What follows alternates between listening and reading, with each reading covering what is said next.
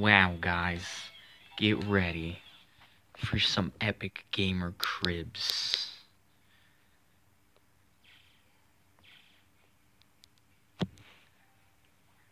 Sup, guys? Check out my crib.